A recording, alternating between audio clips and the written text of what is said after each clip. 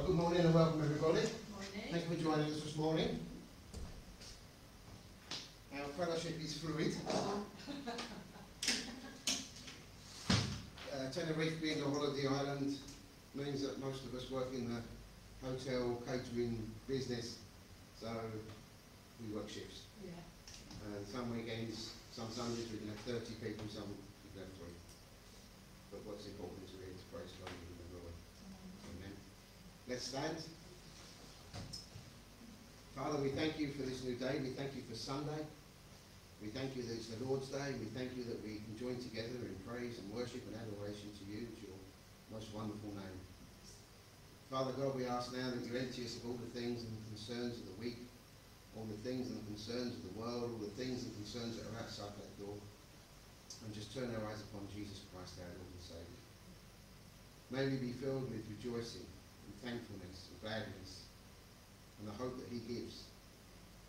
The hope that he gives in, in his risen resurrection and his life. May we praise him, may we worship him, and I pray, Father God, that we engage with you this morning with open minds and open hearts.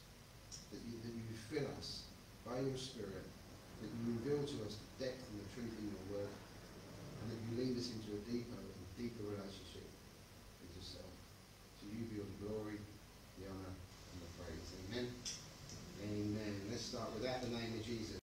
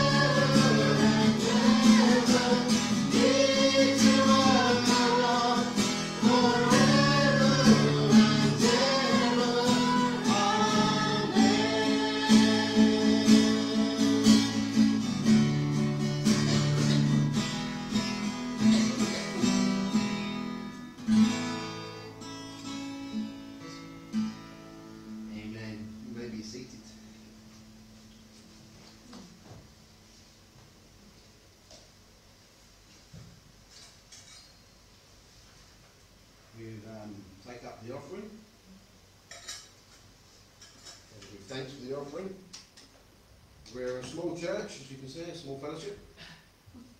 And um, in Spain, we get no help at all from, uh, from the government or, any, or anything.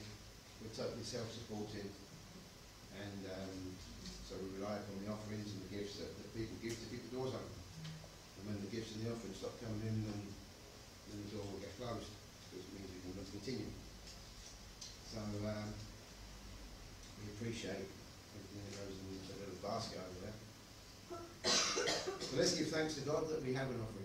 Let's give thanks to God that we're here this morning. Father God, we want to thank you and praise you that we have the ability to this work to continue, that you provide, that you sustain, that you give, that you give to us, Father God, and in doing so, we can give just a small portion back to you.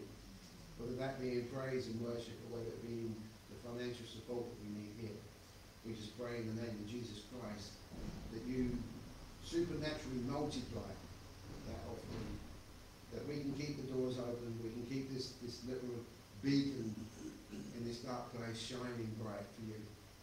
That it can always be a place of hope, a place of prayer, a place of restoration, a place where your name is proclaimed and glorified and lifted up. As we gather around your word, I pray, Father God, that you uh, fill us by your Spirit, that you open our hearts, you open our minds, open our intellect to engage with that which you're going to say this morning. That it may be me that's speaking, I may be the messenger, but you're the message. The message of Christ crucified. So, Father God, we thank you for, for this day. We thank you that we have breath in our lungs. We thank you, Father God, that we slept in the bed last night, roof over our heads, the food in our stomachs, clothes on our back. We thank you, Father God, that uh, you lead, you guide, you show the way, you provide, you sustain, that you are just as we just sung.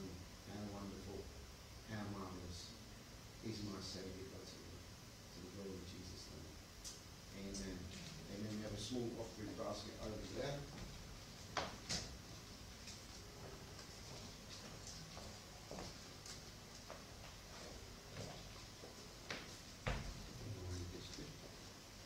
As you can see, as many hats this morning.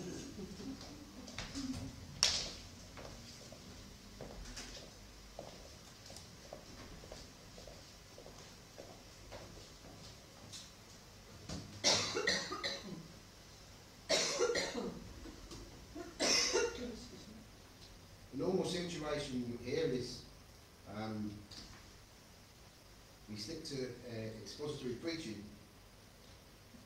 We go through the books of the Bible one, one book at a time, one, more or less one verse at a time, or maybe two, three for really being speedy. And uh, we've just finished going through the book of Jonah, which I think has opened the eyes up of a lot of us. There's much more to Jonah than just a Sunday school story. And um, but this morning, I, I want us to look into, we, we're taking the, the Lord's Supper later, we'll be celebrating communion.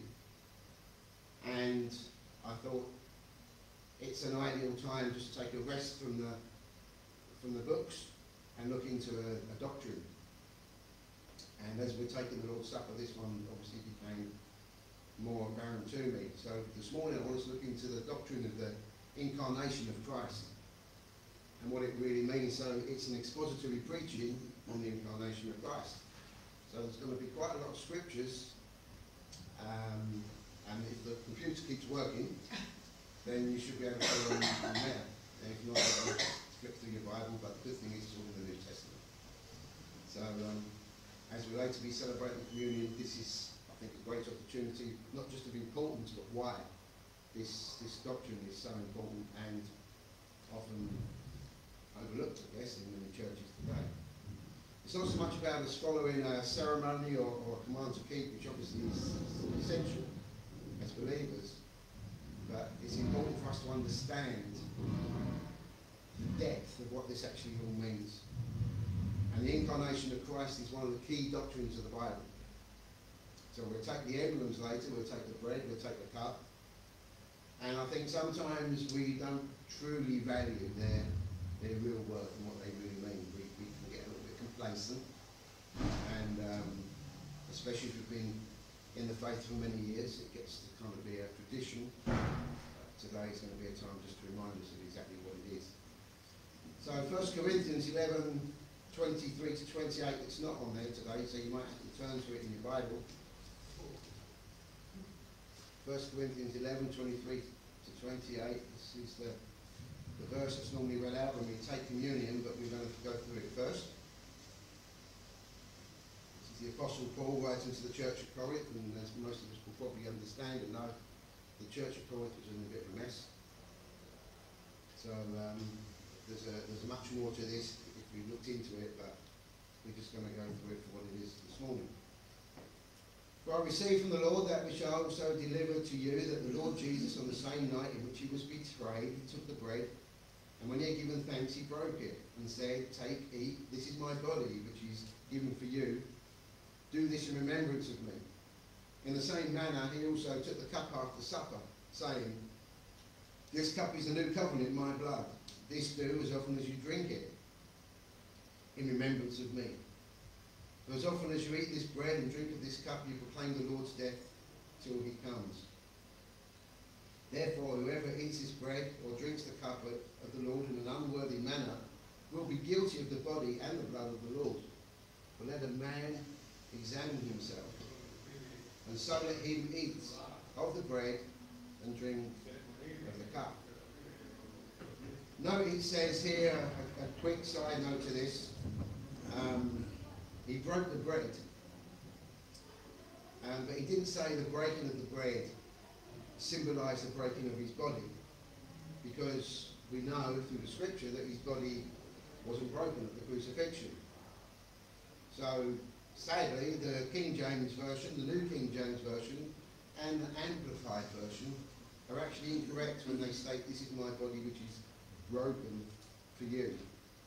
Other translations have it as simply given for you or simply for you. King David predicted he keeps all his bones, not one of them is broken, in Psalm 34:20. And also he wrote in Psalm 22:14, all of my bones are out of joint. And the Apostle John in 1936 states, For these things came to pass to fulfill the scripture, not a bone of him shall be broken. So it's a bit of a mistranslation when it says that his body was broken for us. It was given for us, not broken. That's in the side.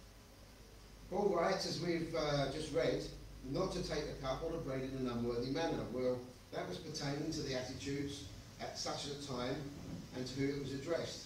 The church in Corinth was needing restoration, it was needed to restore order.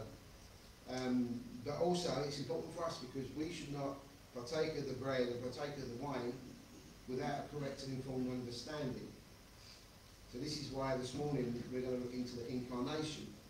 Incarnation is a term used by theologians to indicate that Jesus, the Son of God, took on human flesh.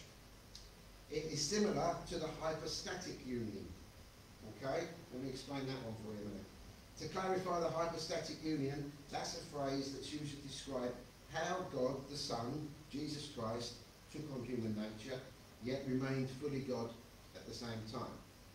Jesus had always been God, John 8, verse 58, John 10, verse 30. But the incarnation, Jesus, became a human being, John 1.14. The addition of the human nature to the divine nature is Jesus, or as we know him sometimes as the God-man. 100% God, 100% man. And this is the hypostatic union. Jesus Christ, one person, fully God, fully man. Jesus' two natures, human and divine, are inseparable. As Jesus will forever be the God-man, fully God and fully human, two distinct natures in one person. That's the hypostatic union. Jesus' humanity and divinity are not mixed, but are united without a loss of separate identity. So we have to be aware if we should listen or take note of such preachers as T.D. Jakes and the others who are popular these days who preach and teach modalism. Modalism means that Jesus can only be Jesus at one point, he's not the Father, he's not the Holy Spirit. Or he can be the Holy Spirit but not the Father and the Son, or he can be God but not the Son and the Holy Spirit. Yeah. That's the teaching of modalism, T.D. Jakes, um, Thingy, Furtick. A lot of them people teach modalism. Jesus can only be in one place as one person at one time. This totally fragments the Trinity. Um, so it's, uh, it's not a correct teaching. The word incarnation means actually the act of being made flesh. That's exactly what it means, and it comes from the Latin version of John 1.14, which we have in English, most of us will know because we hear it often at Christmas. The word became flesh and made his dwelling among us. The reason we use that is because it was the most exclusively used of the Latin Vulgate in the early churches and throughout the Middle Ages and the Latin term has become a standard term for us. It translates nicely into English, and I think it translates quite nicely into other languages. It's the central part of the belief in the Trinity and its unity, and it forms the basis of our Christianity. And again, most of us know the carols we sing at Christmas. They all have such terms as the incarnate deity, uh, Christ incarnate, and we sing that many times, and sometimes we may sing them carols or know them carols and not quite understand what that really means. We come across the word often in old hymns as well, which uh, obviously are always full of good theological doctrine inside the hymns. Unfortunately, it's a term that's virtually been erased from today's modern pulpits. Um, along with many other things, that most of the things have been erased in modern pulpits today, such as the fact of repentance and sin in their lives. But the incarnate Christ has been mostly raised for the feel-good factor teachings of, of, the popular preachers today in the churches that are filled with people listening to what they want to hear uh, rather than what they should be hearing. And to be honest, I don't think you see it in many new modern worship songs, which is sad but tragic. When Jesus was born, God became present on earth as a human and as the second part of the Trinity, the Son. And this is what is referred to as the incarnation of Jesus. It was when God took on human form, becoming fully God, becoming fully human at the same time. The Son of God became flesh in order to be a saviour of mankind. Now, a few months ago, we went through the book of Galatians. Remember the book of Galatians? Well, we read that in Galatians 4, chapter 4, chapter 4, verse 4. It was necessary for him to be born under the law and we spent a week or so looking at what that meant in the law. All of us have failed to fulfill God's law. All of us. Christ came in the flesh under the law to fulfill the law on our behalf. We can read that again in Galatians 4, verse 5, and also in Matthew 5, 17. Second, it was necessary for the Saviour to shed his blood for the forgiveness of sins. Hebrews 9, 22 I don't know if that's on the board, is it? Oh, no, no, okay. Hebrews 9.22 says, And according to the law, almost all things are purified with blood, and without the shedding of blood, there is no remission. So there's a necessity of shedding of the blood. A blood, a blood sacrifice, of course, requires a body, and a body of flesh and a body of blood, which is symbolised today and every time we take the communion. And it was God's plan for the incarnation. Hebrews 10, verse 5, when Christ came into the world, he said, Sacrifice and offering, which is under the old covenant, you did not desire, but a body you prepared for me. So it was God's plan right from the beginning. Without the incarnation, Christ could not really die, and then that means the cross is meaningless. So we remove the cross without the incarnation. So we're going to look into the scriptures and from the scriptures, we know that God speaks to us today through His Spirit. He is the author. And also, only from the scriptures do we gain wisdom, do we gain understanding, and do we actually read and find the truth. Not from fallible man, such as myself. We're going to go through the scripture. So let's look at the biblical doctrines of the incarnation. Defined first as God entering this world. We find that in John 1 verse 9. John 1 verse 9 says, That was the true light which gives light to every man coming into the world. The better translation is actually found in the Legacy Standard Bible, where it says, There was the true light which, coming into the world, enlightens everyone. It makes it much clearer actually. But that was the true light, being Jesus, which gives light to every man coming into the world. This highlights the incarnation of Jesus Christ, which gives light to every man. Through God's sovereign power, every man has enough light to be responsible. Romans 1, verse 19 says, Because what may be known of God is manifest in them, for God has shown it to them. Most people believe in something. Most people, if they're believers or not, will have to admit that there is something or someone behind the universe. Now, whether they want to choose that to be aliens or or Darwin or whatever they want, we come out of some swamp, that's where they're wrong. But God has manifested his wonder and his light to everyone. Everyone has an inborn desire to know, where did I come from?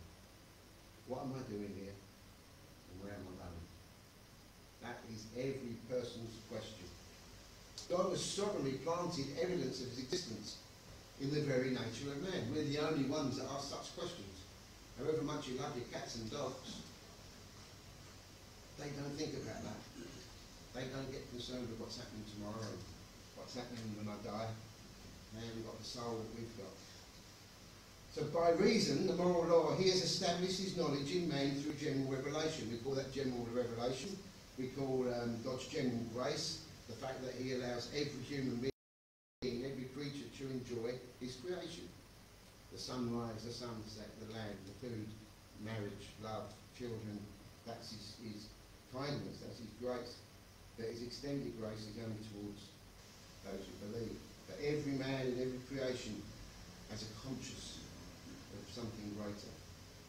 The result of the general revelation, however, does not produce salvation, but it either leads to the complete light of Jesus or produces condemnation to all those that reject the light. The coming of Jesus was the fulfillment and embodiment of the light that God has placed inside the heart of every man. This is the doctrine. Christ is the real or genuine light of humanity, and he was about to enter the world. His function would be to give the light to the truth to all whom his ministry would affect. He gives us the understanding of his word. Remember what the word says, that the cross is foolishness to those who are perishing, but to us who are being saved, it's the joy of salvation. We understand. Why do we understand? Because he gave us his spirit, and the spirit gives us the illumination of the word for us to understand that.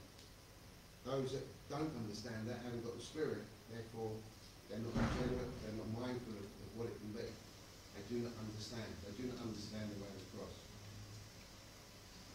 Another part of this doctrine is what we call the Word becoming flesh. Well, that famous verse in 1 John 14, the Word became flesh and made his dwelling among us. While Christ as God was uncreated and eternal, the Word became emphasizes Christ taking on humanity. That is the incarnation. 1 John 14. And this reality is intense because it indicates that the infinite actually became finite. That the eternal was now conformed to time. In his human body, he was conformed to time, whereas as is normal, he wasn't. The invisible, the invisible God, suddenly became visible. He walked among us. He talked among us. The supernatural one reduced himself to the natural one. Yet, in the incarnation, the Word did not cease to be God, but became God in human flesh. For example, an undiminished deity in human form as a man. And that is a key to what we believe. Unfortunately, we get what I call Hollywoodized or TV seriesized. And we, we, we envisage some sort of Jesus with blonde hair and blue eyes and you know, hovering off the ground and never getting dirty. But we have to also realise that, that, this man was, he was God.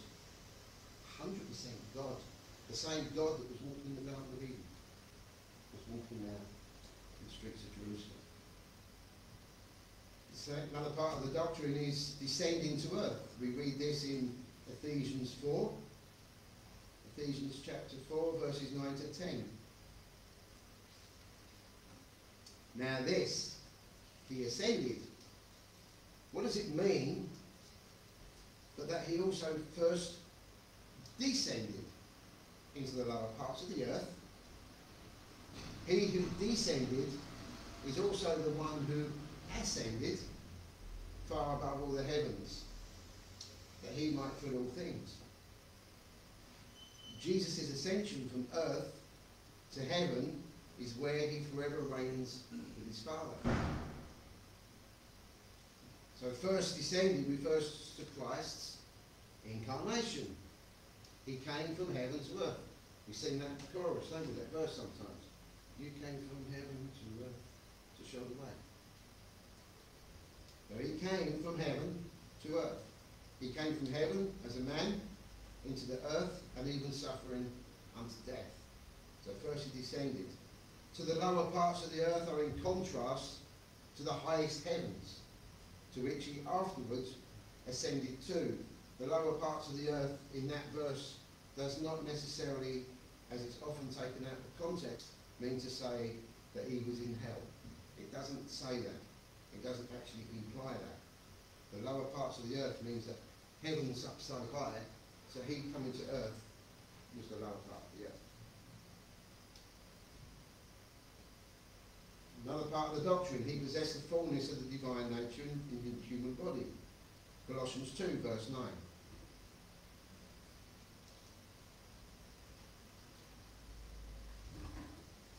I said there was lots of scriptures there.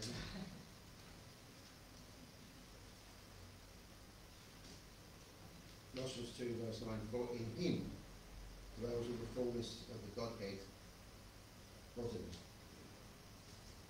Godhead refers to deity. In fact, in the Greek, it's the word that is actually used is theotis. Theotos, we probably know, theo is God. It refers to the essence and the nature of the Godhead, not simply the divine perfections and the attributes of divinity. So the Godhead means full Godhead. Therefore, Christ as man was not merely God-like, but was and is in the fullest sense God. Now, this is labouring the point maybe, but it's very important that we get to understand this. And when we come to the communion today and praise God in the future, that we'll remember just how deep and real this, this really needs to be in our lives. This is the reality Christ's incarnation. Jesus was not only fully God, but fully human as well. Almost all heresy and all false churches and cults that call themselves maybe Christian even begin by some form of denial of the great central truth of the incarnation of the Son of God. They believe in other things. We know that even from the Mormons, don't we? That they believe that Jesus is on a planet somewhere, I the the planet that's where he's on. There apparently. So men may see the attributes of God in his creation, but they can only see his person through his son, Christ Jesus. When we read the Gospels, it all becomes apparent. He lived, he breathed, he walked, he taught.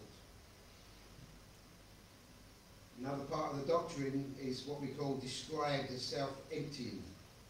And this is another an area where often gets misinterpreted or taken totally out of context.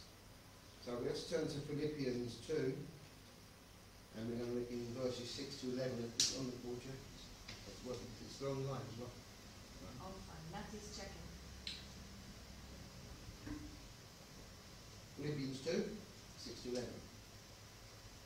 Who, go again, being in the form of God, did not consider it robbery to be equal with God, but made himself of no reputation, taking the form of a bondservant, and coming in the likeness of men, and being found in appearance as a man, he humbled himself and became obedient to the point of death, even the death of the cross. Therefore God also has highly exalted him and given him the name which is above every name, that at the name of Jesus every knee should bow, of those in heaven, and of those on earth, and of those under the earth, and that every tongue should confess that Jesus Christ is Lord, to the glory of God the Father. Was that not the first song we sang this morning? At the name of Jesus, every knee shall bow. Simply put then, he made himself of no reputation. He chose to set aside his divine rights. And that's an important part that we need to remember. He never ceased to be God. Joyce Meyer is a great teacher who teaches, she's not a great teacher in, in my mind, but she's a, a person that teaches that God laid aside all of his godliness of Jesus when he was crucified, and then he wasn't God anymore. Kenneth Copeland teaches that Jesus laid aside all his attributes and was tormented in hell, and then became born again in hell. It's not in the Bible. It's not in the scriptures, and this is where people can get it so wrong. So, Joycey and all their lot are not interpreting the word of God correctly. But they don't want to, because if they did, they would be so popular. And then we go down that route?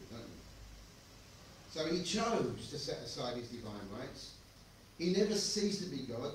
He willingly took on, he gave his life up. Remember, I lay my life down. He willingly took on the form of a servant, a human, rather than taking one of his kingly position. That's how they expected gods in them days. They expected their gods to, to, for people to bow down and worship them there and then. And they made these big things, didn't they? These big stone statues, and they bowed down before the stone statues. And that's why they had problems accepting Jesus, the God man, because he was as a slave, as a servant, as a normal person. He was never emptied of who he was and who he is. That never happened. He was never not God. He was always. And Christ did not empty himself of the form of God. He was never laid aside his deity, but of his manner, of his existence as equal to God, constantly. And it's vital to understand this. Because there's also what we have an, another doctrine that comes out, which is again a, a, false doctrine, and it's a false doctrine of what we call, or what we call the kenotic heresy. And that is promoted today by people such as Todd White and Bill Johnson, mm, and many others. This passage does refer to the emptying, which we get the word kenosis. It's emptying found in some translations, yeah? But the Greek is kenosis. And kenosis does mean the emptying. But let's look at the text. Because in context he says he emptied himself by taking. Yeah? So he emptied himself by taking. He didn't empty himself full stop. This is where false teachers love to put in full stops when they preach and teach. They love to put in a full stop but there doesn't need to be a full stop. They love to put in these little things. He emptied himself by taking, that is, he didn't empty himself of anything out of himself, such as his divine attributes. Rather, he emptied himself, and he did so by taking. That's what we call the mean, it was a, a subtraction by means of adding adding to the human nature, adding to his divine nature. He added the human nature to his divine nature, not taking anything away that was divine. So Jesus came to die. So he had to add human nature. Why? Because God cannot die. So he had to add the human nature who can die to his God nature who can't die in order to die. That's the incarnation. So this addition was indeed an emptying, since as a human being, Jesus was subject to all the things that humans are subject to, such as hunger and tiredness and temptation. Some commentaries write that Christ's action has been described as the laying aside during the incarnation of his independent use of his divine attributes. This is consistent with New Testament passages that reveal Jesus as using his divine powers and displaying his glories upon occasions, i.e. the miracles and the transfiguration, but always under the direction of the Father and the Spirit. They were never not connected. And we can get proof of that when we look into Luke 4.14, John 5.19, John 8.28, and John 14.10. It brings all that together. Externally, therefore, Christ appeared as a mere, mere human being, being outwardly considered, he was no different from the others. He looked like all the others. He was born in a nation and he looked no different than the others. There wasn't a big thing on his head, like we see in some of the things. And finally we come to the doctrine that he was born according to the flesh. Romans 1, verses 3 to 4. Actually, it's also in Romans 8, 3, but we'll just look at Romans 1, 3 to 4. Concerning his Son, Jesus Christ our Lord, who was born of the seed of David according to the flesh, and declared to be the Son of God with power according to the Spirit of holiness by the resurrection from the dead. Because Jesus was God in the flesh, he alone could pay the debt we owed to God. His victory over death, his victory over the grave, won the victory for everyone who put their trust in him. And the reason Jesus came as man was to die in his body for mine and your sins. He became the true mediator between God and man. Not the Pope, not the priests, not the pastor. Jesus is the mediator. You need proof of that sometimes. 1 Timothy 2 verse 5. I don't know how this has been overlooked for so many centuries in some places. Like most people with scripture, they take out the parts they don't like and keep in the parts they do like. 1 Timothy 2 5. For there is one God and one mediator between God and man, the man Christ Jesus.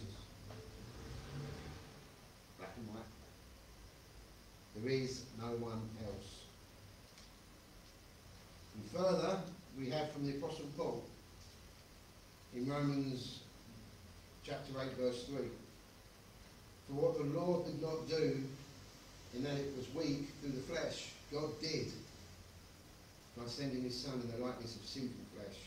On account of sin, he condemned sin in the flesh. Condemned sin in the flesh is to mean that God's condemnation against sin was fully poured out on the sinless Christ.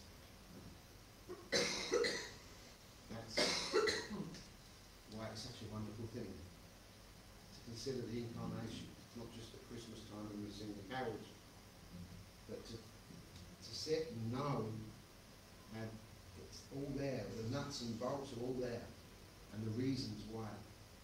And we can understand, we get a deeper understanding of Scripture, and we get a deeper understanding of some of the things, and, for example, taking communion, what it actually means. Jesus made his ministry on earth quite clear. And this was and is a visual display of his incarnate nature. If he hadn't been incarnate, we wouldn't have seen him. He would still be invisible. And we know, don't we, as even in our time, there's been other people that claim to be Jesus. And we know that was, Jesus actually says himself, that there's going to be people saying, the Lord's here, the Lord's there, and Jehovah's Witnesses claim that Jesus has come back twice. Uh, appear to have missed it. But they still keep it in their little watchtower and it's still in there. I think they got the first year, nineteen fourteen was the first time, and then he came back again in nineteen eighteen, because we missed it the first time. Apparently missed it the second time as well. But that's the visual display of his incarnate nature in Christ himself. He claimed to be divine on a number of occasions. He claimed to be divine openly. He claimed to be divine subtly. And throughout the Gospels we can, we can see. For example, he said, didn't he, in John 10.30, the Father and I are one. He couldn't, and that's what upset the Pharisees and the scribes. So, the Father and I are one. He said that he knew Abraham because he was alive before Abraham. They didn't like that one either. John 8, 57, uh, John chapter 8, 57 to 58. And he said that people would die sinners if they did not believe in him. John 8, 22 to 24. So why did God become incarnate in Jesus? We know now that he did. Why? God's plan for our salvation come to completion through the crucifixion as well as the resurrection. And these are central events of Jesus' life. And everything else he does should be seen in the light of the cross. We are very fortunate to live in the time that we live because we have the complete book. Old and New Testament. Remember at the time of Jesus the New Testament wasn't written. They still had the Old Testament. In the times of the apostles, it was just coming together. But we're fortunate to have the full story. And we should treasure that. And these are central events of Jesus' life. But Jesus did not only become incarnate to die for us, but he also became incarnate in order to live with us. This is, again, Emmanuel. We sing at Christmas, don't we? God with us. So in Jesus, God took on human nature so he could die for our sins as a fellow human, taking the penalty that we deserve, you and me deserve.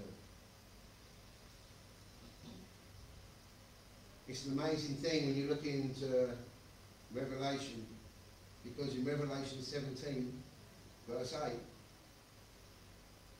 it says, it explains to us that this was planned from eternity. As the names of the redeemed already written in his book of life from the foundation of the world. Get that. Before the foundation of the world, your name was written in the book of life. Again, this is where we can refute any of this silly talk about losing your salvation. It's like God's going to sit there with a huge razor. Oh, you've done something wrong. Rub it out. Oh, you've done something good. Put it back in again. No. If your name's in there, it's in there. It's written in his blood. He wrote your name in the Lamb's book of life.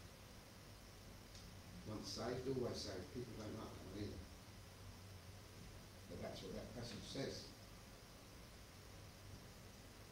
Otherwise, God's going to be busy ripping up pages when we get things wrong.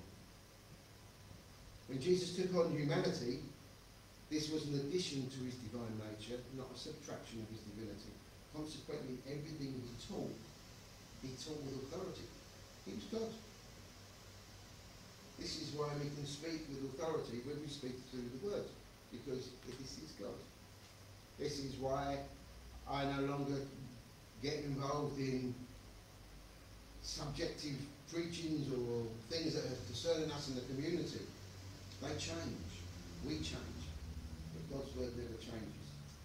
God's word is the truth and God's word is the authority. It's the final authority. So ultimately, by looking at this doctrine of the incarnation of Christ, we really get to see the depth and the length that a holy God goes to and went to in order to re-establish fellowship with his creation, you and me. How wonderful, how marvellous is my Saviour God to me.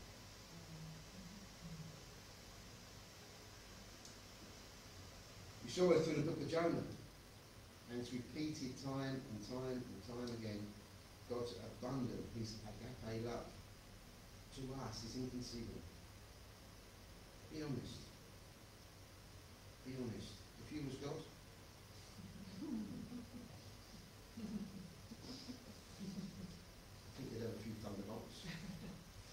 certain people. I don't think we can understand how patient he is, how long suffering he is, how loving he is, how gracious he is, how merciful he is. You can't comprehend that. But we can see it in the man Jesus. We can see it. He reaches out constantly. He forgives constantly. He provides constantly. He sustains us constantly. He guides us constantly. And after all that, he offers us salvation. After all that, through his own love, through his son Christ Jesus. Amazing grace. We don't deserve that. But he does. So, my prayer is, and my hope is, is that we're going to take communion. We should have a better and deeper understanding of every time we take bread and we drink of the cup. We should really be able to comprehend some way that the truth of the incarnation is, is in the words. That we know the truth. We know the scriptures are true. One part now of that, maybe a little puzzle. We can go, yeah, we've, we've seen it all come together. We've seen like the owner's manual, so to speak, of how these all dots connect and why. We started with uh, 1 Corinthians verse 11, chapter 11, and in verse 22 we, we read, or verse 26 I think it was, For as often as you eat this bread and drink this cup, you proclaim the Lord's death till he comes. He's coming back again. He's not coming back as a lot of people like to think he's coming back.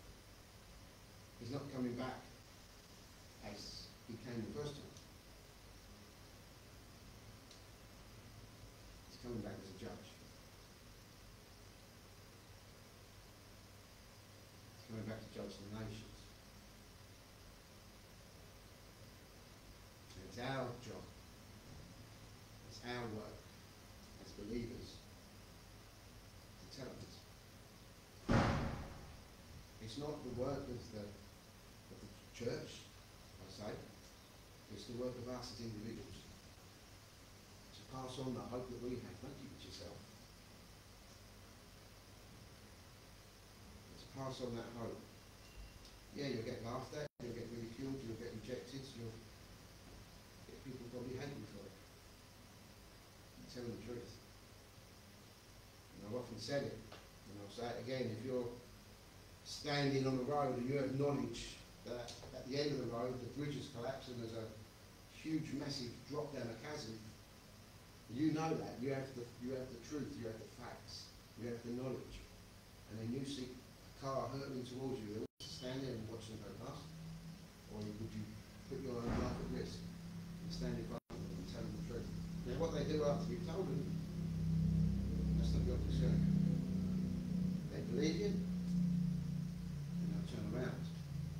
Hey, I think that's cool. Everything that's not preached often in churches today. If they continue to go on the path of destruction, you tell them the truth. We are to bear the truth, we are to be lights in the dark world, and we are to tell people of that truth that we have, the hope, the glory that we have. Pass it on. Let the Holy Spirit be the Holy Spirit. You're not the Holy Spirit, right? You don't do the converting. You just speak the truth. Let the Holy Spirit. Let Him do His work. He's better at it than we are.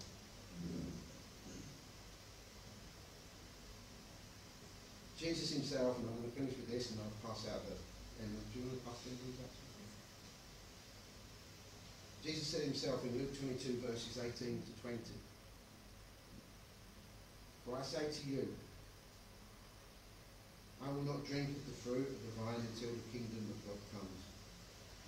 And he took bread, gave thanks and broke it, and gave it to them, saying, This is my body which is given for you. Do this in remembrance of me. Likewise, he also took the cup after supper, saying, This cup is the new covenant in my blood, which is shed for you. That's the truth. We know the word communion comes from the word union. It's the result of our union with Christ. Our union with Christ, believing in and being faithful to his word. And being in that union, we also share in his death, the burial, the resurrection, and the return. And it's a foundational part of our salvation. And that death is symbolised in the ordinance of communion. Participation in communion is for all believers who are walking in fellowship with the Lord and, and with each other. It's an act of obedience in the scriptures. It's an act of worship. All of us that have a personal faith in Christ Jesus are worthy to partake of the Lord's Supper. It's a time of remembrance, a time of reflection, a time of giving thanks. However, biblically, there are people who should not take communion. We don't have an open table. It's not open to those who are not born again, or those that are living in known and unconfessed sin. You need to deal with that first before you come to the table. And if a person has no union with Christ, then they take an act of communion as no significance whatsoever. A person who's not been spiritually regenerated has no means by which to commune with the Holy God. Therefore, an unbeliever taking communion is practicing hypocrisy. And it may actually place that person in danger of God's judgment. 1 Corinthians 11, 28, 29, everyone ought to examine themselves before they eat the bread and drink from the cup. For those who eat and drink without discerning the body of Christ, eat and drink judgment on themselves. Let us therefore celebrate together this holy ordinance. We'll spend a few minutes and just gathering our thoughts and examining ourselves as we're instructed to do. We have these strange little things that we got during the pandemic. There were about 500 of them to get through. So you pull the chocolate off and there's, there's a little wafer there, okay? Doesn't really make significant. And then the non-alcoholic wine underneath. I'll take that. Just to spend some time to go through.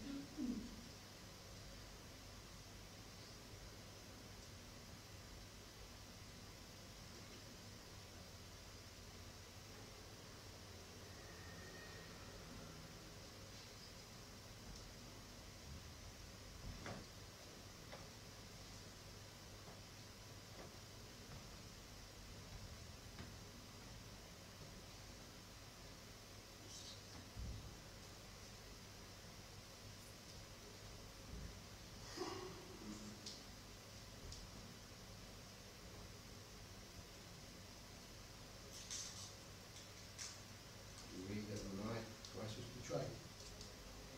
He took the bread, he broke the bread, and said, This is my body given for you. Father, we thank you. We thank you for that incarnate Christ.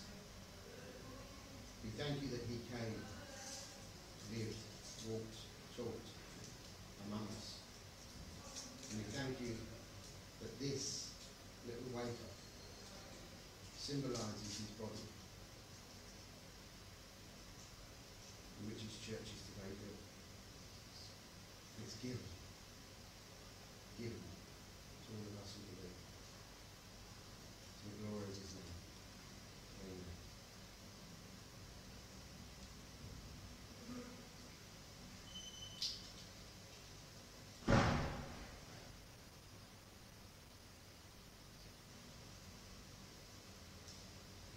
It says he took the cup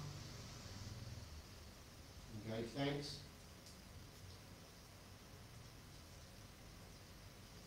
This is the new covenant in his blood. thank you for the cup. What it means. Again, we reflect upon the teaching of today, the doctrine of the incarnation of Christ. When he came in bodily form, and he gave his body, and he also gave his blood. And we know through your scripture that your word teaches us the significance of blood. And that without the shedding of blood there is no remission of sins. His blood was sinless, pure, poured out for us, sinners, unpure. The wonderful exchange. So if we take this cup, Father God, may we do it in remembrance, may we do it in thanksgiving, may we do it in worship. Praise and adoration until it comes again. Amen.